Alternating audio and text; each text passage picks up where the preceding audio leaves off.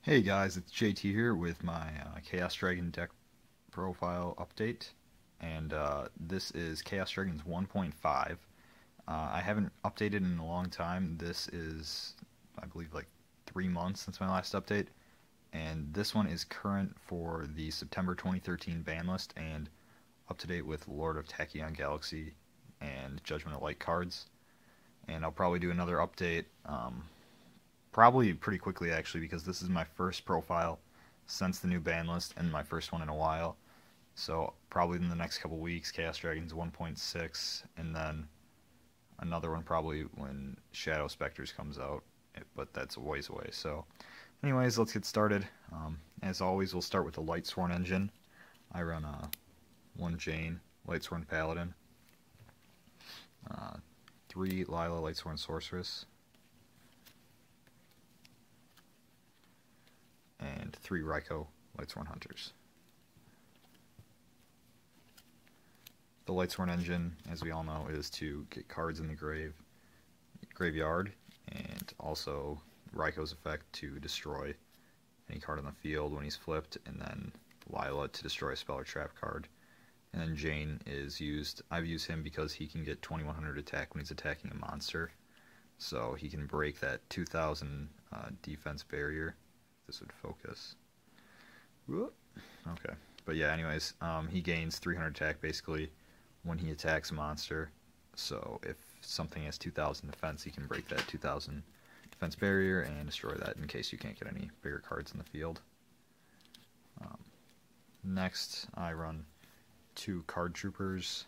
Uh, card trooper is also for milling cards, and um, that's basically it. When he's destroyed, you get to draw a card on to the dragons. Uh, starting out, we have one Divine Dragon Apocryph,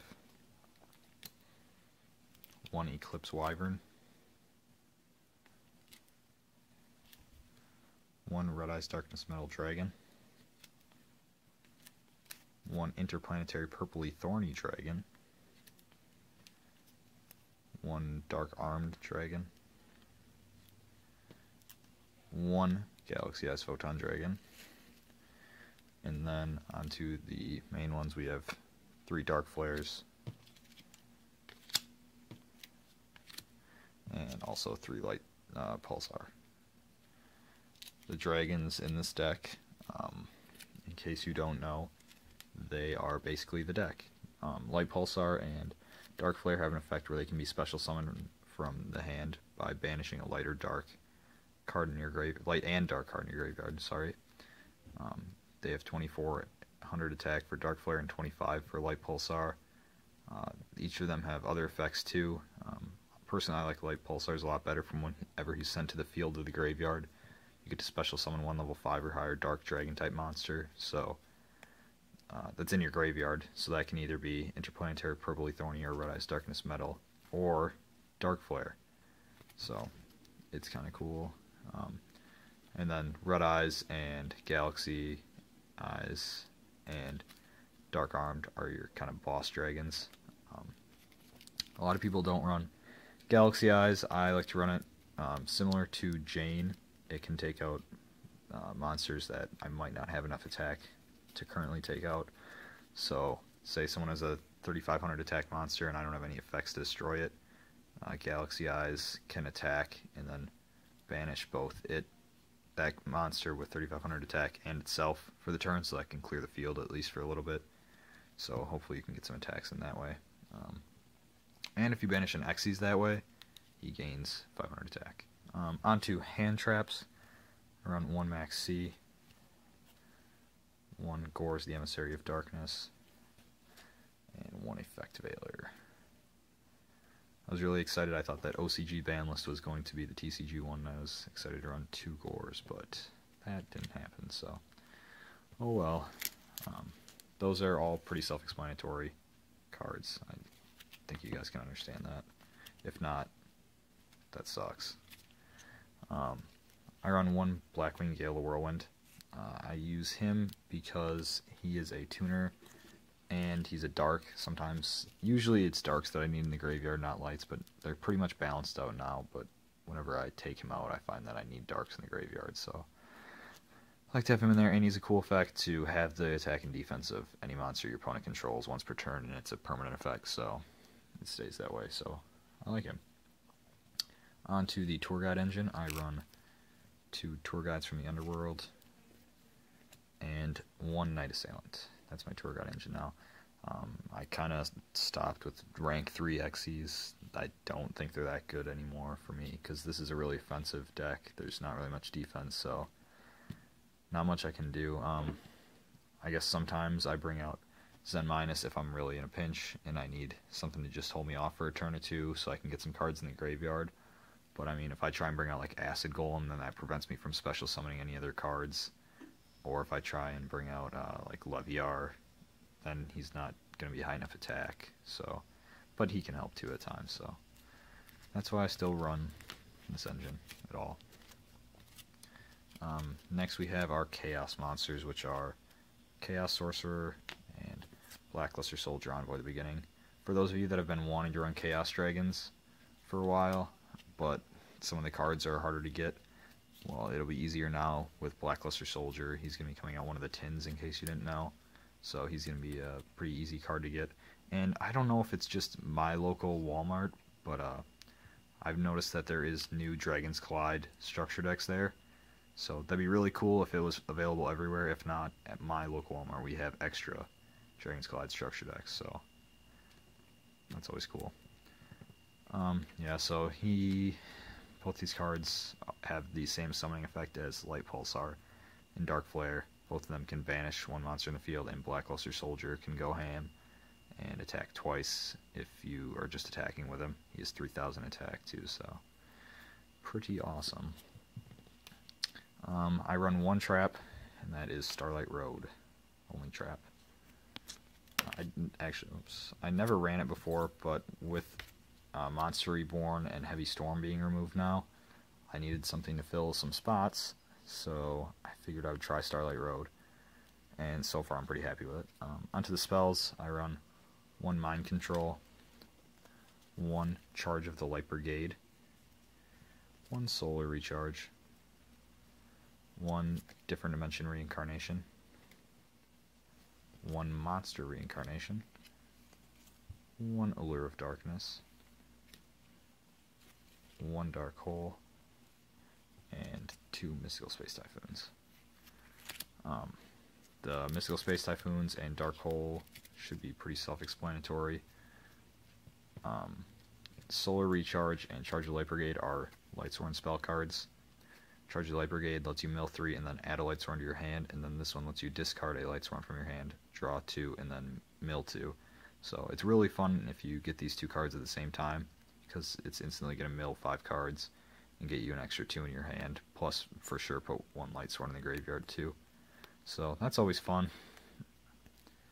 Um, Allure of Darkness, draw power.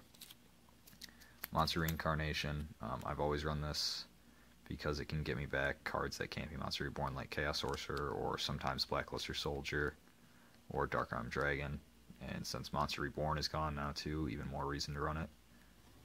And then these two were in my side deck before, but with the new ban list, I decided to give them a shot. So we'll see how. I want to try and focus that. It's not not focusing. Anyways, I'm gonna try and run these two and see how they work. Uh, so far, I like them. Um, they're pretty self-explanatory too. Mind control, grab a card from your opponent, different dimension reincarnation. Um, just bring back one of your banished cards. So that is it for the main deck. That's 40 cards.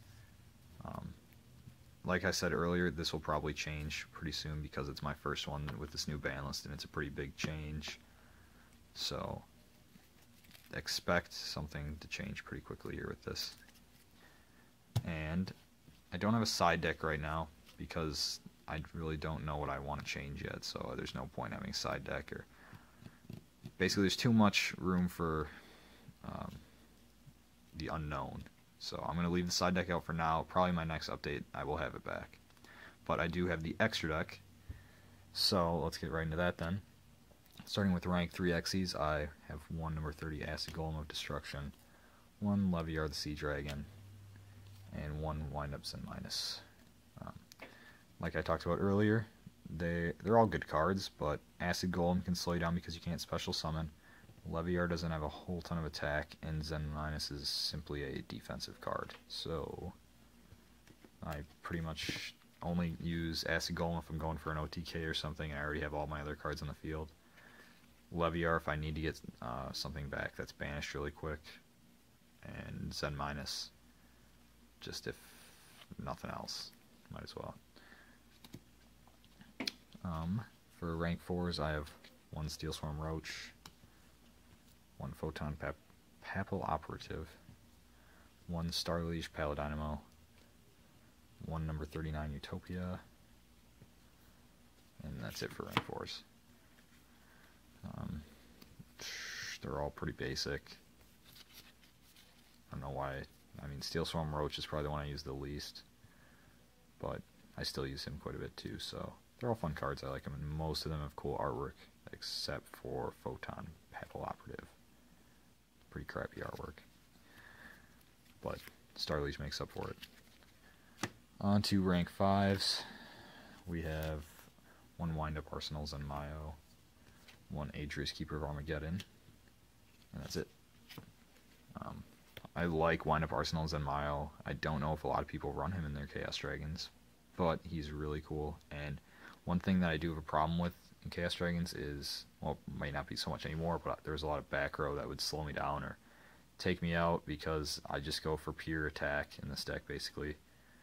Um, but now without Heavy Storm, he can help because he can take out two set cards on the field, so that's always nice. And he's 2600 attack, so that's good too. And then Adreus, he's Adreus, so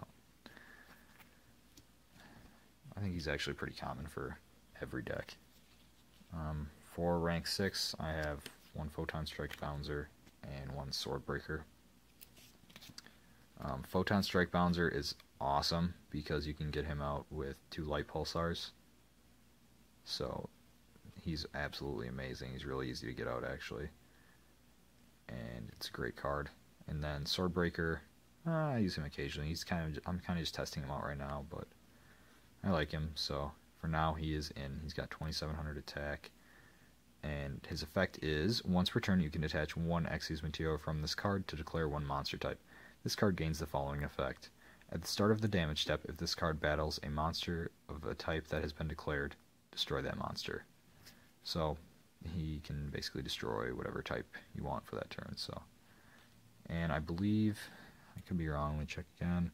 That effect stacks. So say the first turn you said warriors, the second turn you said winged beast. That second turn, the same effect would stay for warriors, I believe.